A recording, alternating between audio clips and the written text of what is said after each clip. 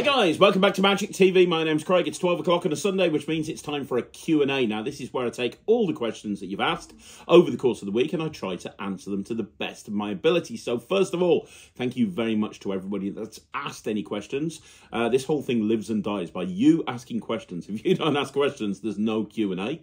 So thank you. Secondly, please don't forget that I answer these questions normally on a Tuesday or a Wednesday. Today's well, I'm doing a watch on. Today's Tuesday afternoon, so uh, if you want to guarantee to get these question answer, questions answered, then try to get them in by sort of the beginning of Tuesday. If I miss it, I'm sorry. Just ask it on the following Q&A and I will try and get to it then. Um, I also don't actually prep for these Q&As. I just literally look at the question and answer it for you. Uh, so you're getting kind of my raw, unfiltered opinion. And then if there's any questions that I think are kind of appropriate for a meatier type of video, I'll carry those onto a future video down the line. With that all being said, I've had a quick flick through. There's a ton of questions, which is always a good sign. Uh, so let's see what we've got this week. Let's get cracking with this week's Q&A. Okay, so the first question is from MS Crim, who says, Hey Craig, I know poker size cards are popular, uh, but are there any magic dealers you know that sell bridge size cards for those with smaller hands? Uh, well, yeah, I mean, most dealers will sell bridge size cards. I know Alakazam had them when I went to uh, Alakazam last week. I've seen Prop Dog carry them. I'm pretty sure Penguin and Vanishing Ink will have them as well. It's kind of a common thing. You can get bridge size cards from most magic dealers. Um, one thing I will say though is don't worry too much about the size of your hands.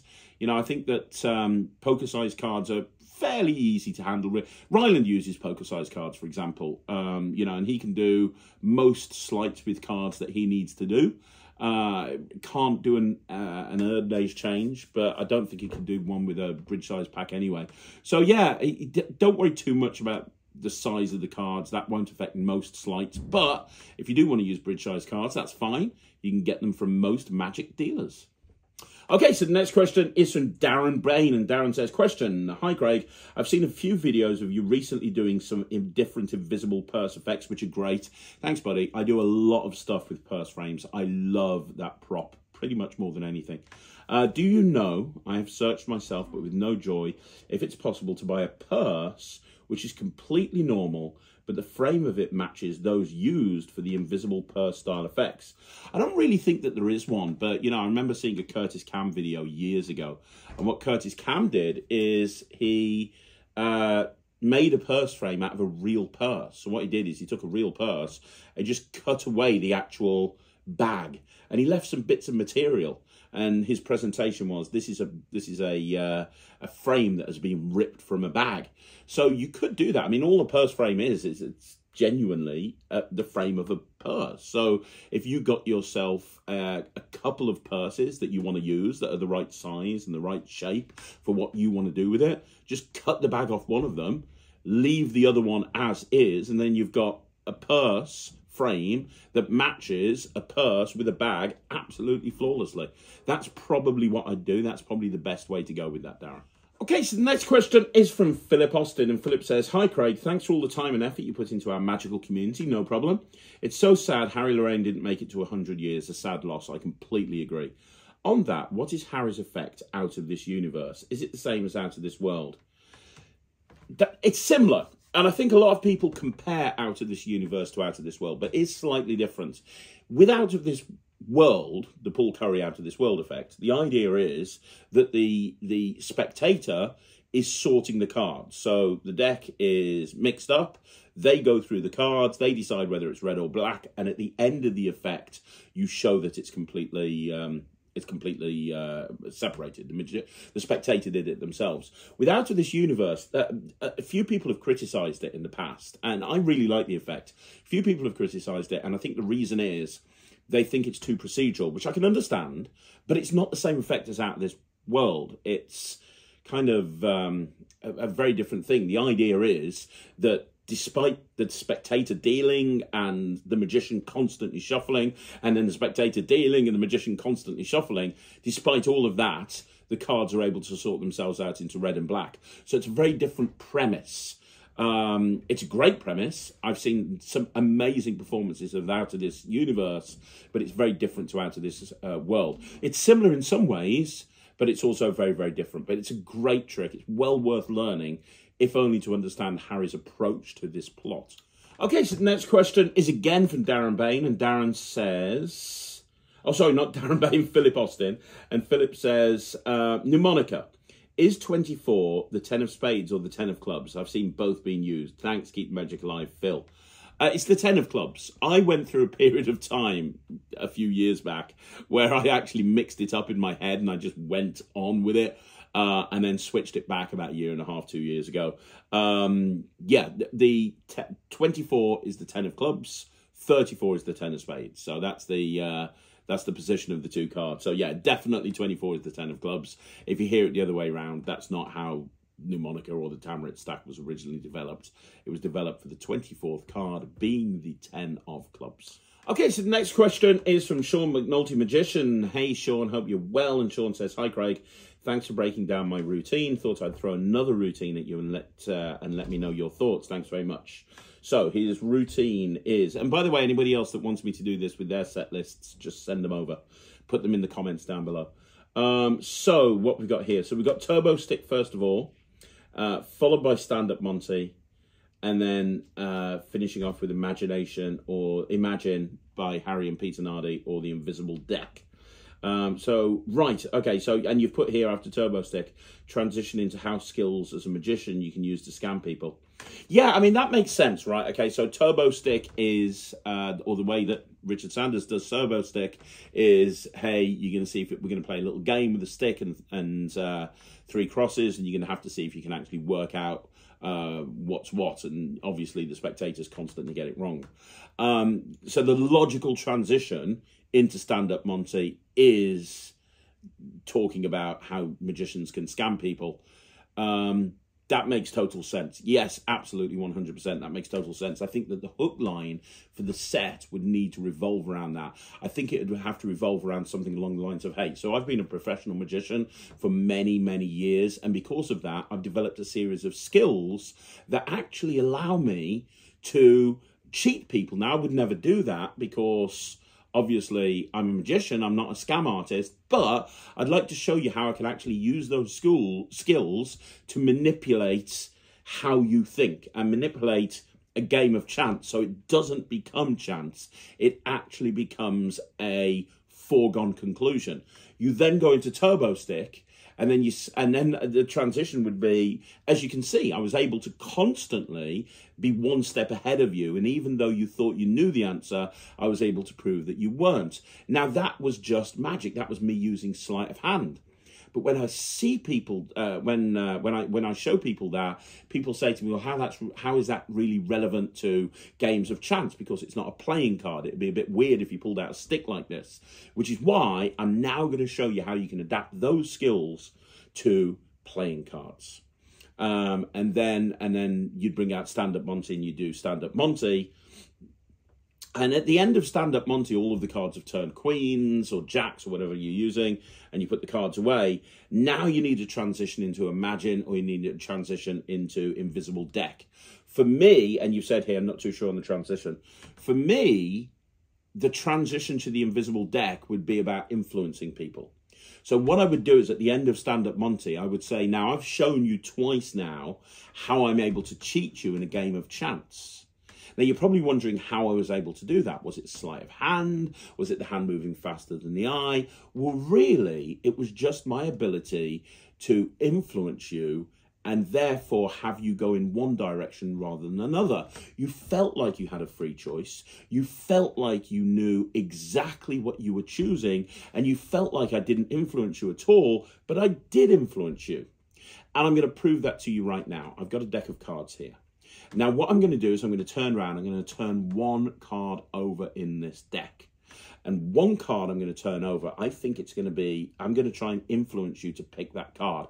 Now, you're going to feel like you've got a free choice, but I'm ultimately going to influence you to go down the route that I want you to go down. And this is basically the same thing that I was doing with the stick and with the three cards, but we're using a, an entire pack of cards now. So I've turned one card over, you take the deck, I'm going to see if I can influence you. And then you go through this whole process of, hey, think a card, pick a card, pick a number card. You know, what would you like, pictures or numbers? Would you like a what? You go through, make more of a deal of the selection process. And rather than doing it as an invisible deck presentation, you can even say to them, like, did you feel like you've got a free choice? Did you feel that that was a completely free choice of card? I didn't influence, but what if I can prove to you I did influence you because I turned one card over in this deck for the first time. What was the name of your card? That's how I would.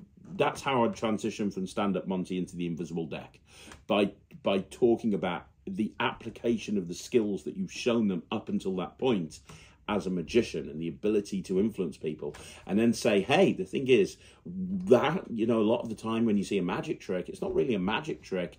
It's the same thing as you just saw a scam artist or a con artist do but i'm applying it in a different direction. Now in order for that presentation to make sense you'd have to be the sort of person that's happy to go down that route and not pretend that magic's real. But as long as you don't pretend magic's real that's probably the route that I'd go down with that. Now if you wanted to transition into Imagine you could do the same sort of thing, but with a twist. So if you're going into a Imagine, you'd start the same way. So you'd say, well, how are these skills applicable to a magician? Well, when a magician has you pick a card and and look at a card, the reason they can tell you what the card is is because they can read you.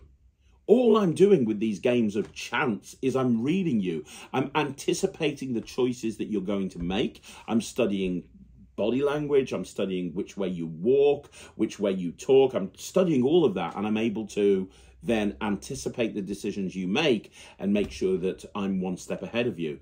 We can apply that to a card trick as well. And I can have you pick a card, and just by looking at what you're doing, I can tell you what the card is. Let me give you an example. I've got a deck of cards here, and they've all got different backs. That's not important. I collect cards. This is my card collection. It's the faces that are important. Say, stop, look at that card. Have you got it? You have. Fantastic. Now I want you to look at me, and, and I want you to lie to me and tell me the name of any other card in the deck not your card, any other card in the deck. So they do that, and you go, okay, interesting. Did you see how when he did that, he looked to the left slightly? He looked to the left slightly, and and and he didn't say that card very loudly. Now that tells me, uh, you know, that tells me it's completely different to the card that you named. So that tells me that uh, you picked a diamond, so it would be a club. Uh, you picked a, you named a picture card, it would be a number card. So I think that you went for this, and and do that a couple of times um, which you can do with Imagine, and then say at the end, and then the reason for the deck turning blank is, so you're probably wondering, is there such thing as magic? You know, I've just shown you how I can take skills that I've learned cheating people at games of chance and I can apply it to a pack of cards and make it look like I'm reading your mind, whilst in reality I'm using a combination of body language and influence. Is magic real? Well, yeah, of course.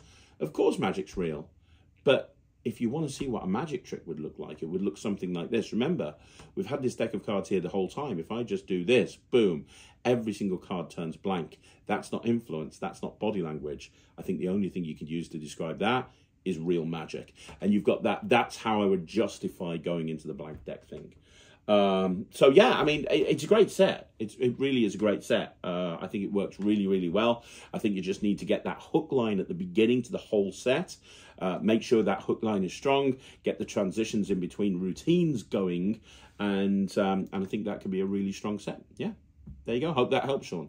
Okay, so the next question is from Phil K77, and Phil K77 says, Do you know where I can purchase baby gag cards or posters from? I want to use them as part of Digital Force Bag. Well, my effect gossip from Alakazam came with five different baby gag cards uh, with babies on one side and pictures of celebrities on the other. You might be able to get refills from Alakazam. It's a question for them, not for me. Um, one of the most popular versions of the baby gag is uh, Smart Ass, Celebrity Smart Ass by Bill Abbott, and he sells on his website lots of different refills for lots of his tricks. So he might have refills for celebrities. It would be worth looking there and seeing if there's any baby gags. But to be honest, I've done baby gag for years on stage. Don't do it anymore, do something different. But I've done it for a very, very long time. And uh, when I was doing it regularly, I made my own and I gave it out. So I used it as an opener, and uh, I just made my own. So I just literally went to a um, printer. I went to my local printer and I said, "Hey, I want a picture of this celebrity. I want an A3 or an A4 piece of paper. I want a picture of the celebrity on one side. I want a baby on the other side. Can you do that for me?" And I ordered fifty of them and um, that's why yeah, it was A3. It was A3, and I folded in half. That's right. So you had a baby on both sides, and then when you opened it up, inside was the celebrity they thought of, and I just had like fifty or hundred of those printed, and every single time I went to a show, uh, it was Brad Pitt and Tom Cruise my force. So I'd end up by giving the spectator that I was performing for the picture of Brad Pitt or Tom Cruise, give, actually giving it to them to keep um, saying, hey, hey, you can have that as a souvenir and put it up on your bedroom wall. You're welcome. And so I just made my own up, and it was relatively cheap. I think it was like 20 quid for the design and the print. Nice glossy um, paper, and it looked fantastic. So I would make your own and give them away as souvenirs if I were you. Okay, so the next question is Phil K77 again, and he says, please can you recommend a resource to learn 21st century Phantom? Oz Pearlman's version doesn't seem to be available anywhere. It's a download, isn't it? Yeah, download. You can get the actual um, 21st Century Phantoms from. Um, uh, you can get the 21st Century Phantom cutouts from Prop Dog. Prop Dog do a lot of them. Uh, but I sure I thought it was a download. Is it not? No, it's not. Oh my gosh, there you go. Didn't know. Um, so no, I don't know anywhere to be perfectly honest. Um, I would check with Prop Dog because they made a big deal of the 21st Century Phantoms. They produced like a massive line of 21st Century Phantoms. Um, so I would suggest that maybe they would be the guys to go for. They have got their own section on there of 21st Century Phantom by Prop Dog. Um, I don't know, but I would suggest Prop Dog would be a good place to start looking. I imagine that they, and they do have um, the mixed packs in at Prop Dog. So uh, maybe they will do it. I'm not too sure.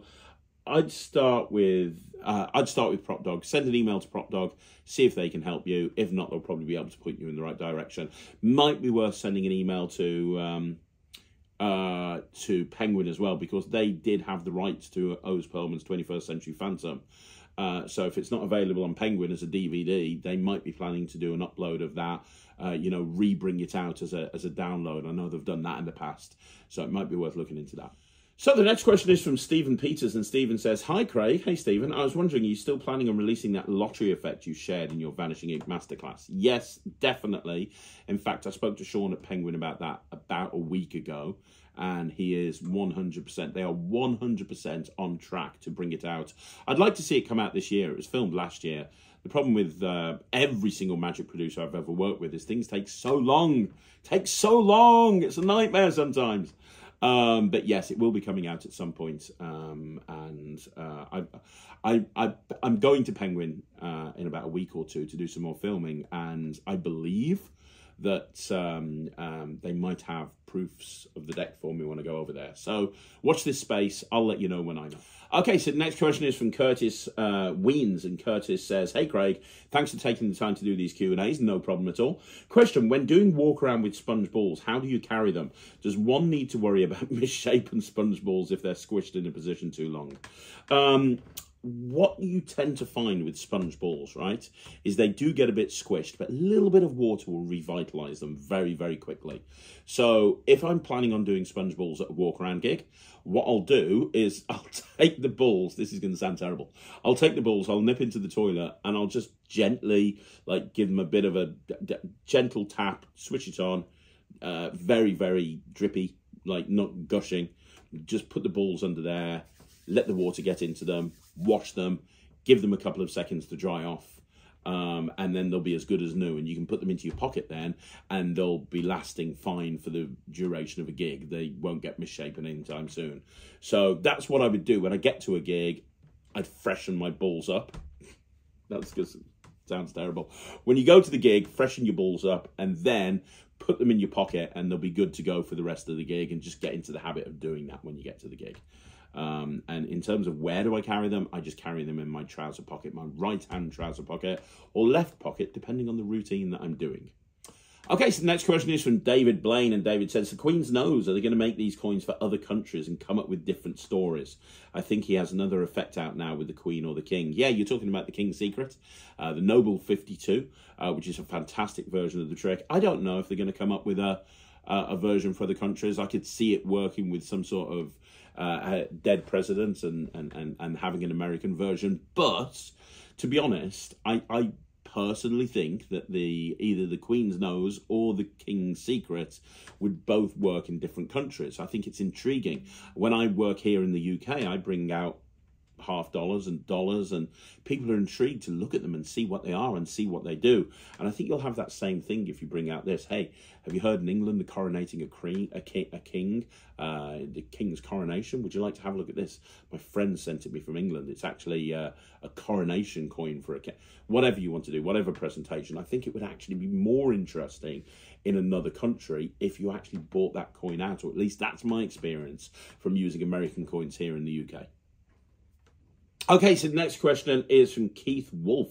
And Keith says, Where can I get clear Omni Morgans? I've only found 50s and quarters. Also, as far as downloads go, Kyle Pennell just dropped one on Penguin today. I haven't been this excited by a download in quite some time. Yeah, I hear uh, good things about Kyle's download. I'm going to get it at some point soon and review it. In terms of the Clear Morgans, uh, Calix was the company, I believe, that uh, produced them. They sold those things through Penguin um, but they had their own website. Uh, let's see if we can find it. Calix coins, because they're out of stock on Penguin now. I think they put them in. Um, uh, I think they put them in Penguin, but um, I think that they have their own site. Uh, Omni coins. Calix Omni coins. Uh, trying to find it. Bear with. Bear with.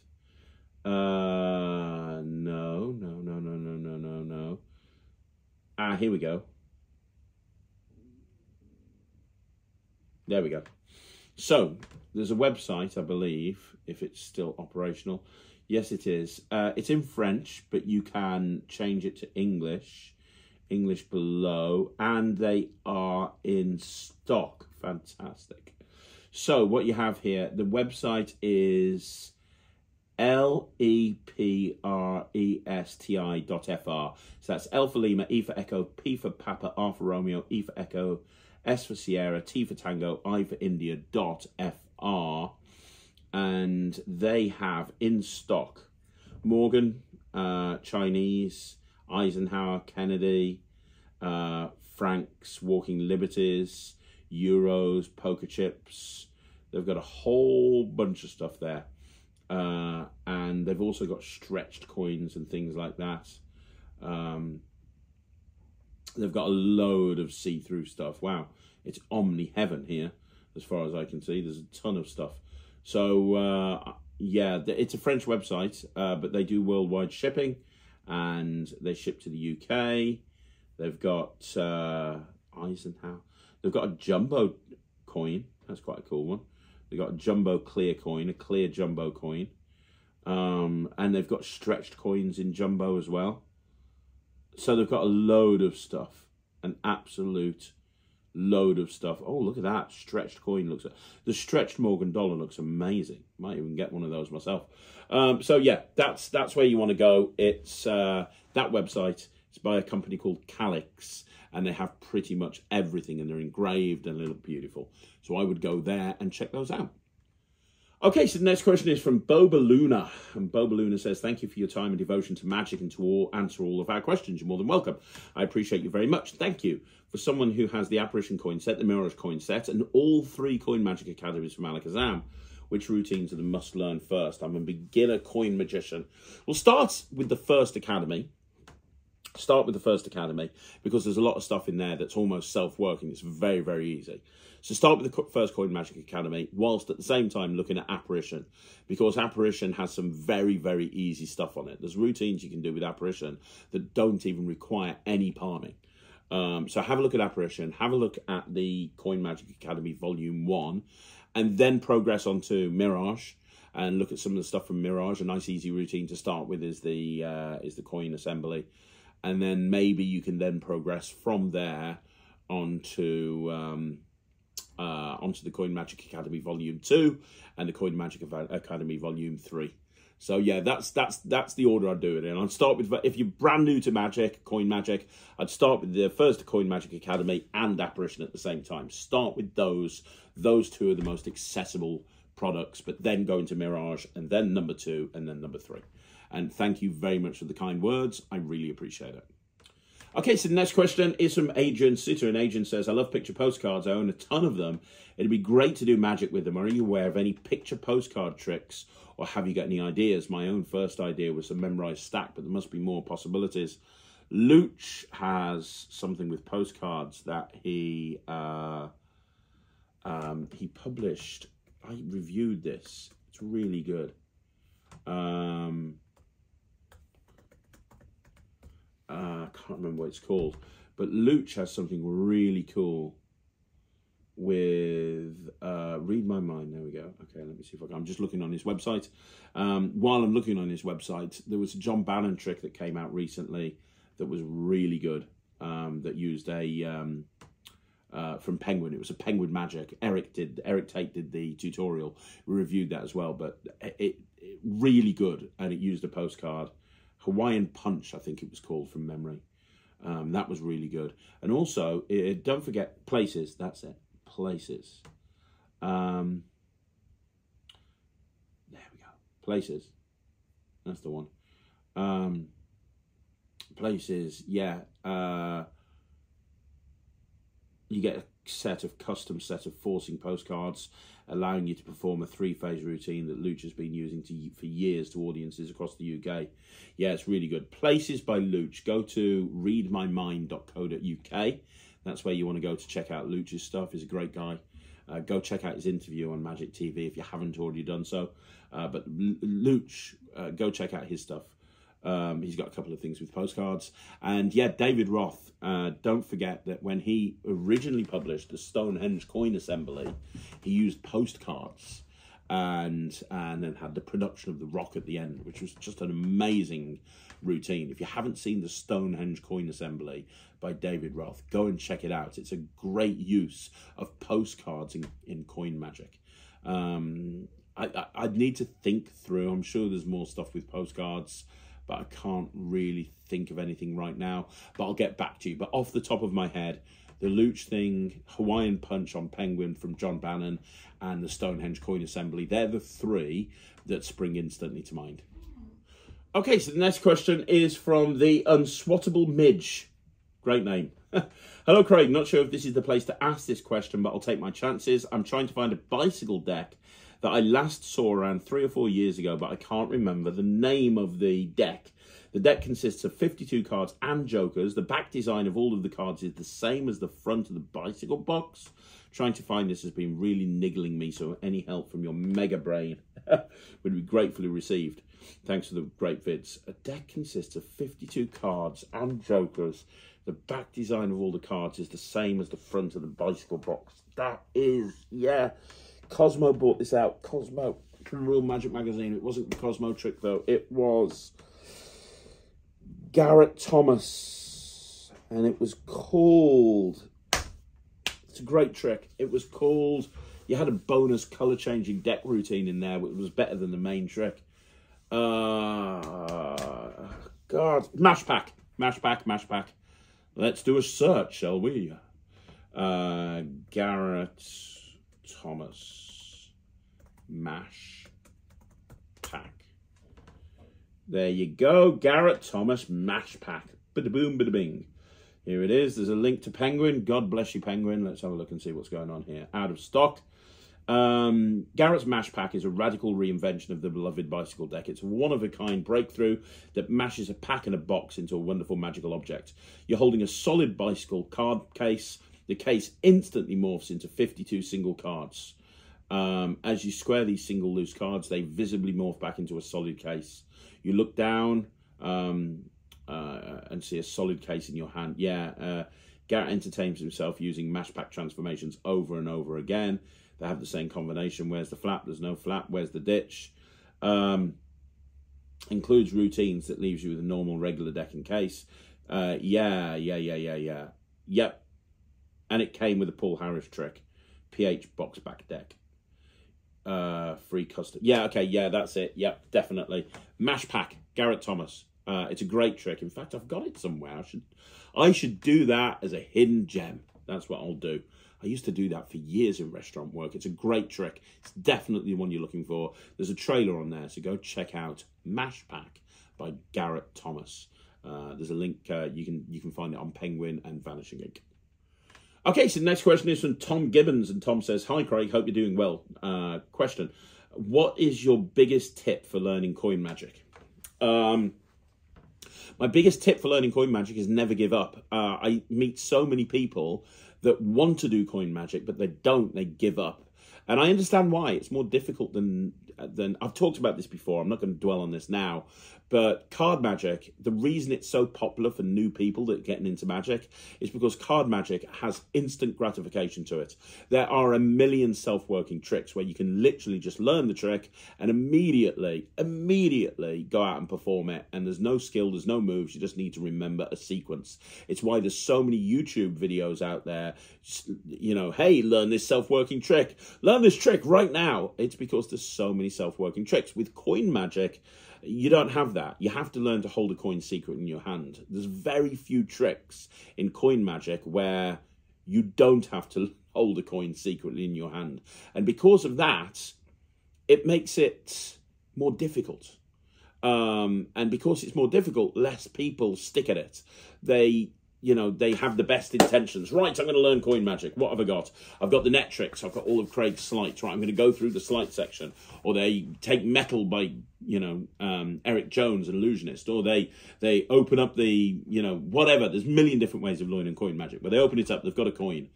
And then it's very much a case of, oh, right, okay, this is actually quite hard. Oh, right, okay. Let's just do another card trick. So I think the biggest piece of advice I can give you when it comes to coin magic is never give up it's my mentor um, always said to me, if it was easy, everybody would be doing it. It's not easy. Not everybody does it. And if you can stay the course and you can actually, um, you know, practice and get good at it, you'll have a skill which will help you sail head over heels over a lot of other magicians because very few people really in the grand scheme of it do coin magic. And there's so many skills that you learn as a coin magician that you can apply to every other facet of magic. So yeah, never give up. Okay, so the next question is from Mike Tyson by TKO. And Mike says, I appreciate your honesty rank ranking your own tricks. You're more than welcome. Like you said, it's almost like choosing between two kids, between your kids. Not easy. You mentioned about your future products and how they probably make it to the rankings. Can you give us a teaser or two, please? we all promise to stay quiet. I've got a video coming up soon. Uh, I just need to film it, and it's my 2023 release schedule. And these things can never be followed because obviously it's impossible. Uh, but it's it's the tricks that I anticipate coming out between now and the end of 2023 from the various different companies, and a little sneak peek of what they all are. So that video is coming soon. I'm going to blow my load on here. I'm gonna I'm gonna do a proper video on it, um, but I'm hoping to get that video out this week. Okay, so the next question again is from Mike Tyson by TKO. Refills, dude, you did it again. I love Lucky Lotto more each day. Just for shits and giggles, I went to the Penguin twice and saw that they now have refills. $15 for 10 performances. That's fantastic. It went from $4 a performance to $1.50. I've picked up several refills, so I'm set for a while now. Thanks, we're in a better place because of you. Dude, I think that Lucky Lotto has flown under the radar a little bit for a couple of different reasons, one of which is the refill thing. I worked with Penguin very closely to get the refills out as soon as possible. We actually have got some other ideas with that, which we're going to be talking about when I fly over to Penguin. But yeah, I, I love Lucky Lotto, and it kills in the real world. It absolutely kills. People just don't see it coming. Um, and yeah, the refills make it very, very affordable, I think. So, um, you know, for anybody watching this, if you want to pick up some refills and you want to pick up Lucky Lotto, maybe you're held off because uh, of the re- uh, the lack of refills. They're now there, they're now available, and you can uh, you can pick up refills and you can you can do the trick over and over again. I think it's one of the best openers if you're going to be doing strolling mentalism. Uh, it's a great opener. Bank Night is a great plot anyway, but it just makes sense to put it into a scratch card, right? It's one of those things where I'm really surprised that other people didn't do it before me, um, but it's it's a killer routine. I uh, I love it. Okay, so the next question again is from Agent Suter, and Agent says, You say that some of the best magicians are amateurs and hobbyists. Could you name a few? By the way, a 5x5 of the best tricks created by amateur magicians would be great. I'm actually doing a few videos coming up about tricks by amateur magicians, the best amateur magicians, and so on and so forth. Um, so I'm not going to spend too much time on this, but people that spring instantly to mind are people like um, Guy Hollingsworth. He's an amateur. Um, I define amateur as somebody who uh, you know, they, they, they, they, anybody who's got a job um, and then does magic as well, I think they're a hobbyist, you know, uh, uh, and, and, and if you see my video, I don't mean that in any negative way at all. I genuinely do think some of the best magicians in the world are hobbyists. And I've said this before on the channel, but when you start to rely on magic as an income source, you have to take, um, certain compromises when it comes to the magic that you perform. But let's talk about people that I think are amazing that don't have magic as their full time job. Guy Hollingsworth um, springs to mind. Will Houstoun uh, is a great coin magician. As far as I'm aware, he is also uh, a hobbyist insofar that he doesn't actually. Um, uh, uh I don't know, but I don't think he does. Um, you've got uh, John Bannon, obviously, James Keatley uh, is somebody whose name is very current at the moment. Chris Congreave is another example of somebody who's not full time and yet is an amazing magician. Rich Relish uh, is another example of somebody who is not full time and yet is absolutely killing it. Uh, I'm going to make a big list of people, uh, but I, I, think the most important thing to understand is you don't have to be a full time magician to be an incredible creator in this industry. So the next question is from Pete Booth, and Pete says, "What do you think of Alec Kirk's musical tribute to you, and will you be doing a song in return?" I've just seen it. I have never laughed so hard in my life. It is possibly the greatest video that has ever appeared on YouTube ever. Like I freaking love it, and it made my day when I saw it earlier on today. Uh, will I do a song in return? Absolutely not. Not in any way, shape, or form. Nobody wants to hear my singing voice. It's terrible. It's awful. I'm not going to subject it on anybody, but I would like to state right now on Magic TV, I really appreciate Alex. That was an amazing thing. It really brightened up my day. So thank you very much. And if you guys haven't seen it, go and check out Alex's musical tribute. Uh, it's one of the funniest things I've ever seen. So the next question is from Colin Ryder, and Colin says, Hi Craig. Hi Colin. Uh, some time ago, you gave me advice on tricks for my four-year-old granddaughter. All went well, and thank you for that. She's now making items vanish for her nan. However, she does not use misdirection that well, as she puts the item up her jumper before showing her empty hands. Not great. My question is, after seeing Ryland do Dusty on the review show, at what age did he start doing sponge balls? I'm thinking of teaching it to my granddaughter. She'll be coming five this week. Um, this week. Regards, Colin. He started doing it at the age of three. Three, I think. He started doing coin magic at the age of two and started doing sponge balls at the age of three. So five would be absolutely fine. Um, I've got a video somewhere. I'll see if I can include. I'm going to put a video. Hopefully, there will be a video playing after this little section here of Ryland doing it. I think he was uh, six maybe five or six in this video. Um, and it was when he was learning about routining things together and learning about how to routine tricks together. And it's him doing sponge balls on me and I was holding a camera. And it was I was filming it to show him how good his vanish was because he didn't think it was a good vanish. Um, so I'll, I'll see if I can play this video. Five or six though five five is fine. I I I'd get her into the uh, get her into uh, sponge balls and the sleight of hand, and yeah, tell her not to shove it up a jumper. That would be probably do the best bit. I think the most important thing, though, as and I've said this before, if you're teaching kids magic, make sure it's fun. Make sure they're having fun. That's the most important thing. I've got two balls, and you can have this one, Daddy. And I got this. And hold this one really, really, really tight. Hand. Okay, watch. Let's up with petrol. Yeah, press the man. Open your hand. That's it. Whoa! It's a. Next question is from David Blaine, and David says, "Hi Craig, are you going to do a five by five with loops and also the new release premiere? Is it only uh, is it only going to be one movie? Yeah, it's only one movie. I'll be doing a review show special on it soon, but it's an amazing trick. 555 with loops. Absolutely, after the success of the mat test with the loops, we're definitely revisiting loops, so that'll be coming soon. Okay, so the next question again is from Sean McNulty Magician, and Sean says, How do you switch off from magic or the magic business? I'm constantly thinking of things I need to do, goals or practice, building the business, etc. And sometimes I feel like I'm overthinking and I'm just focusing on the magic. Any tips? Yeah, um, make sure that you've got enough to, make sure that you've got time away from magic build time in for yourself and your family and things that you really enjoy doing so i love genre tv i love wrestling um, I really do. I love. Uh, I'm currently rewatching all the Red Dwarfs, whilst at the same time um, watching Picard. Uh, I'm on season two at the moment, but I've heard season three is amazing, and um, uh, you know, I've, I've just watched WrestleMania, for example. I'm excited about Backlash. So I I do a lot of stuff for myself, and I do a lot of stuff with my family as well that's got nothing to do with magic. And I think you've just got to find time. It's very easy to become a workaholic. I know I have been, and at times I am a workaholic, and I have to dial it back. And the way that I dial it back is because Sarah gives me a metaphorical slap around the face and says, "Hey, you're working too hard." Um, sometimes you just need to switch off right? Sometimes you just need to switch off. Make sure that you've got a hobby or an interest away from magic, something else that you like doing, or at least something different to what you normally do with magic. So for me, to be honest, creating magic is something that's that's different to running the business and the performing of magic and the running of the agency and stuff like that. But creating magic is something I do because I enjoy doing it. It's fun.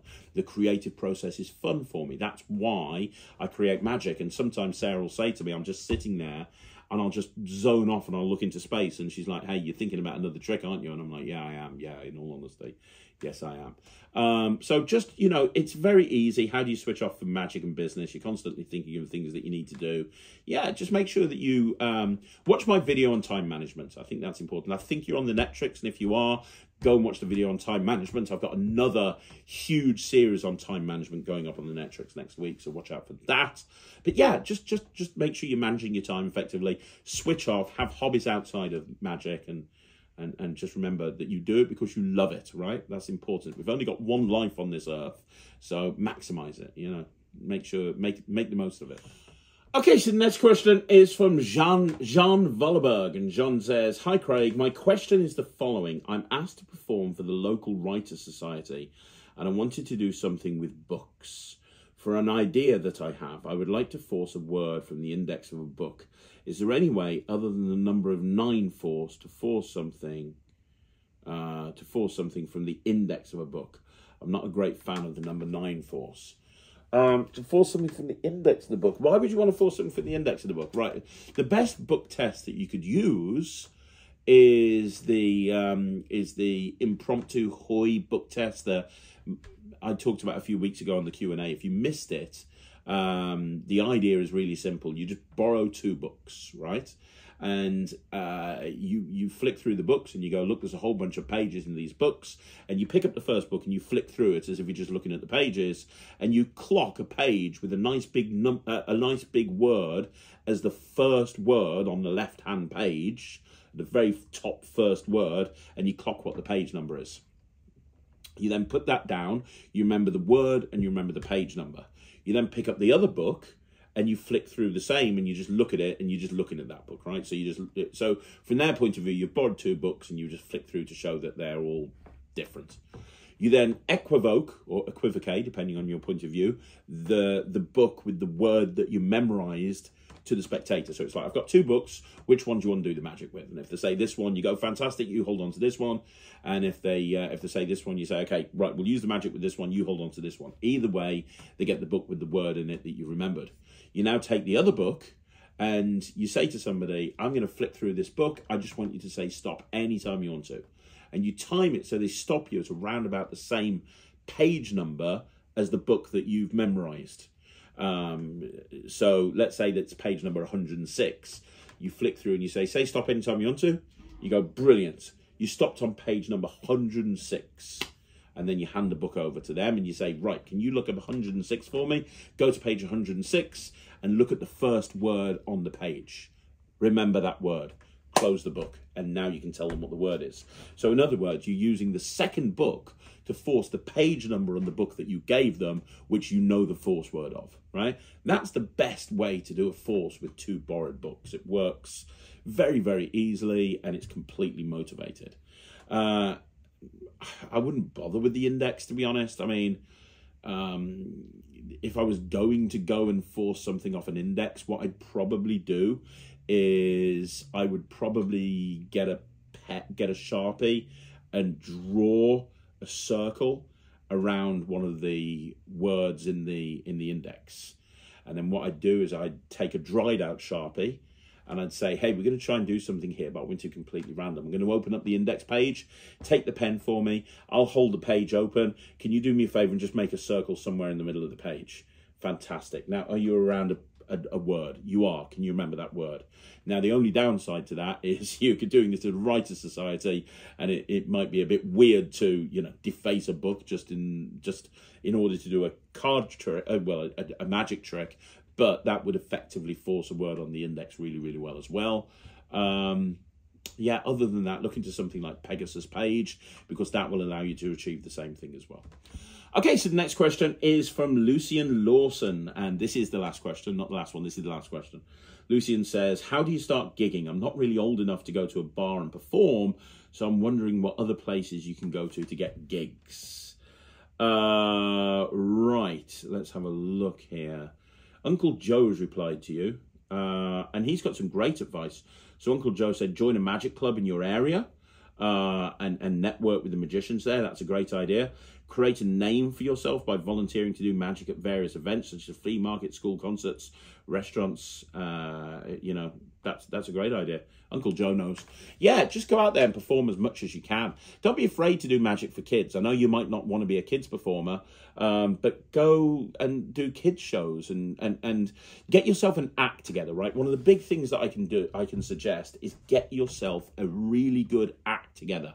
So Ryland's ten years old, right, and he's just done the Hey Presto show uh, in front of like two hundred people at the Blackpool Magic um, Hey Presto show, sorry, the Bradford Magic Hey Presto show. Uh, he's been on the Blackpool Magic Convention. He's been on the IBM convention. Uh, he's been on the, um, uh, he was booked to do the Christmas party for the Blackpool Magic Club. He's got a whole bunch of other stuff coming up for various different magic conventions and societies. And one of the reasons is he put himself together a really good act, the sort of act that magicians would like to see. And because he's got this act, people will book him to do it, right? Get a really good act, a really, really good stage uh, performance. Everybody always focuses on close up magic these days, but get yourself a really good 15 minute stage spot together and then film it and then send it out to as many people as you can.